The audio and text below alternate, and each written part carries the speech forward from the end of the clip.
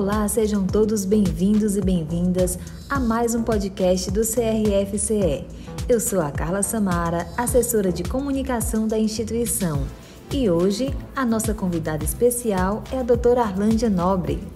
Ela que é farmacêutica, é presidente do CRFCE, é professora titular do curso de farmácia da Unifor, doutora e mestre em farmacologia, advogada, especialista em gestão da assistência farmacêutica, indústria farmacêutica e em processo civil.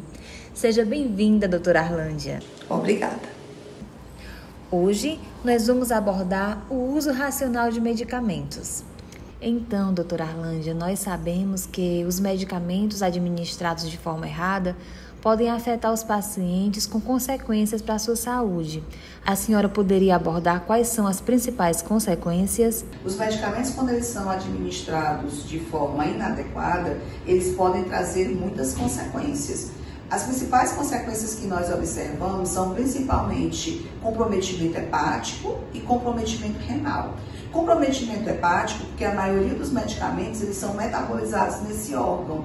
E o comprometimento renal, porque é através da urina que a maioria das substâncias são eliminadas. Então, toda substância química, ela traz em si um risco e esse risco ele é minimizado quando o uso ele é acompanhado por um profissional de saúde. Então, o uso racional de medicamentos, ele perpassa pela orientação do profissional farmacêutico, inclusive.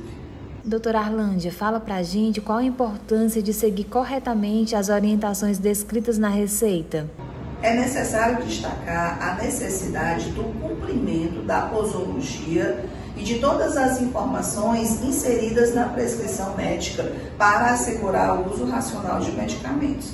Essa prescrição, ela decorre de uma consulta, aonde o médico considera a anamnese, a história do paciente, ele realiza, através desse, desse contato, desse conhecimento, um diagnóstico e a partir daí os medicamentos eles são selecionados. Então é extremamente necessário que o paciente ele cumpra rigorosamente essa prescrição. Se houver algum motivo que haja a necessidade da interrupção, essa interrupção ela precisa ser autorizada pelo profissional prescritor. É possível que o medicamento cause algum efeito indesejado? Sim. E aí, nesse caso, a medicação ela poderá ser suspensa, mas isso sempre orientado pelo profissional de saúde. E quais são os riscos da automedicação?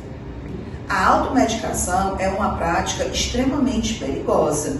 A gente sabe que as substâncias químicas, elas podem causar bastante malefício no organismo humano. Então, a prática da automedicação, ela não é recomendada. Quando você apresenta algum tipo de problema, você deve procurar o serviço de saúde ou o profissional de saúde. Então, o farmacêutico ele está disponível nas farmácias e a gente sempre diz que o farmacêutico está presente em todos os recantos. Então, você pode procurá-lo e na medida em que ele evidencie que se trata de um transtorno menor, esse profissional está habilitado para lhe ajudar a resolver o problema.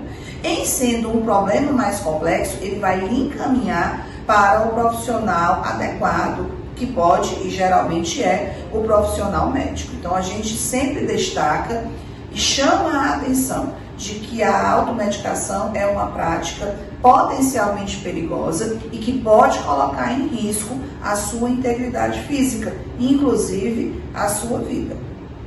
A sobrecarga na utilização de remédios pode gerar consequência para a saúde do paciente e quais seriam elas? A sobrecarga do uso de medicamentos traz sim uma série de consequências. A primeira delas é que podem existir interação entre um medicamento e outro medicamento que eventualmente o paciente faça uso, ou até mesmo entre o medicamento e os alimentos provenientes da sua dieta. Essas interações, elas podem potencializar aquela resposta ou elas podem anular. Então é importante ficar atento a essa questão. Da mesma maneira, essa sobrecarga, esse uso por um tempo maior do que o necessário, vai sobrecarregar o nosso organismo, principalmente órgãos que nós consideramos altamente perfundidos, como o fígado e o sistema urinário, os rins. Então a gente chama a atenção de que é necessário, em caso de utilização de medicamentos por um tempo maior, o monitoramento. É por isso que muitas vezes o profissional ele pede para fazer dosagens laboratoriais de alguns marcadores. Através dessa determinação laboratorial, é possível avaliar se o órgão ele está mantendo-se estável ou se ele está sofrendo algum comprometimento. Doutor Arlange, pessoas que utilizam remédios por longos períodos podem desenvolver problemas de saúde? Fala para a gente um pouquinho sobre essa abordagem. Nós temos várias doenças que são consideradas doenças crônicas, incuráveis e que, portanto, vão exigir que você utilize o medicamento por longos períodos. Às vezes, um uso contínuo. Claro que, na medida que você usa uma substância química por tanto tempo, é possível que você tenha algum comprometimento a partir desse uso. Então, é necessário, nessas condições clínicas, um monitoramento terapêutico. Essa monitorização terapêutica, através da determinação de marcadores bioquímicos hepáticos, renais, vai servir para mostrar se o órgão está sendo comprometido, se o órgão está sendo afetado. Existem medicamentos que comprometem a acuidade visual, que é a capacidade da gente enxergar. Existem medicamentos que comprometem o funcionamento do fígado.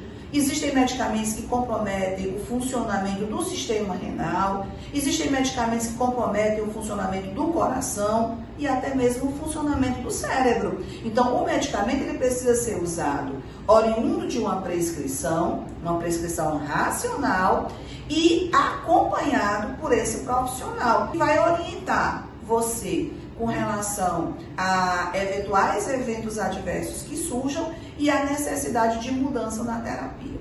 Chamo a atenção de que, em caso de dúvidas, não use medicamento. O medicamento ele é substância química, ele é um insumo necessário à manutenção da nossa saúde, mas precisa ser usado de forma racional. Procura o farmacêutico na farmácia. E você pode, inclusive, contribuir para a nossa próxima matéria Diz o que você gostaria de saber. Qual a sua dúvida? Pergunta, o Conselho de Farmácia responde. Muito obrigada, doutora Arlange, pela sua contribuição mais uma vez com o podcast do CRFCE.